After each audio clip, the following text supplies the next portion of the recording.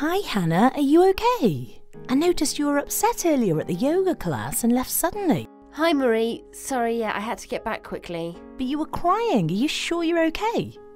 The truth is, I'm not okay. I had an accident. Oh no, what kind of accident? I'm so embarrassed. When the yoga teacher asked us to get into position, I leaked a little and wet myself. Oh, Hanna. I understand how you must have felt, but it's more common than I think you realise. Many women leak a little when making sudden movements in certain positions. It sounds like you might have a bladder weakness. I had a similar situation a couple of years ago. It really got me down because it stopped me doing some of the exercises and activities I could do. This affected my mood, and even my family noticed I wasn't myself. I knew I had to resolve this problem somehow. I did my research and listened to this. One in three women have issues with urinary incontinence. That's one billion women in the entire world. The average woman with incontinence will spend over 1,000 US dollars on incontinence management. And it's not just your age or pregnancy that might cause it, but also doing sports.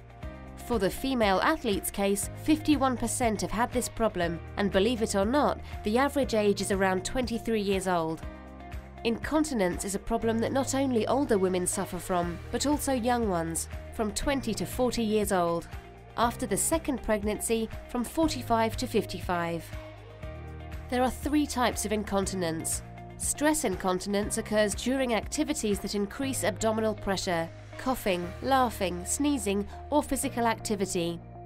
Urge incontinence occurs when the need to urinate comes on so quickly that you might fail to make it to the bathroom in time.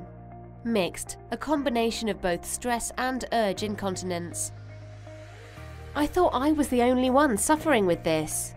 Gosh, no, Hanna, you don't have to be embarrassed about it. I found a solution, a really good one. Come over and I'll show you. So, look, this is the TensCare Perfect Pelvic Floor Exerciser. 1. You place the batteries in here. 2. Connect the lead to the unit. 3. Assemble the probe and attach the leads. 4. Insert the probe. 5.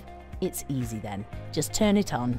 You can then, after a while, join in with the stimulation to help strengthen your pelvic floor. And soon you can replicate the sensation yourself. You get better and stronger. Don't overdo it though.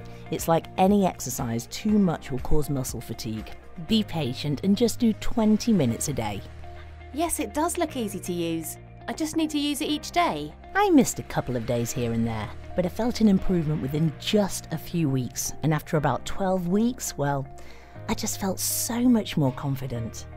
Another bonus is having a strong pelvic floor muscle will improve your sex life. Thank you, Marie. You are such a good friend.